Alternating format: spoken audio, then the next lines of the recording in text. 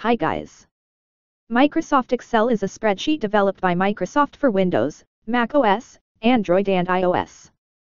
It features calculation, graphing tools, pivot tables, and a macro programming language called Visual Basic for applications. It has been a very widely applied spreadsheet for these platforms, especially since version 5 in 1993, and it has replaced Lotus 1-2-3 as the industry standard for spreadsheets.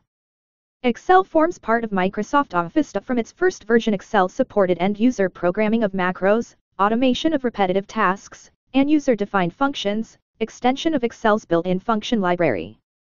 In early versions of Excel these programs were written in a macro language whose statements had formula syntax and resided in the cells of special-purpose macro sheets, stored with file extension .xlm in Windows. XLM was the default macro language for Excel through Excel 4.0. Beginning with version 5.0 Excel recorded macros in VBA by default.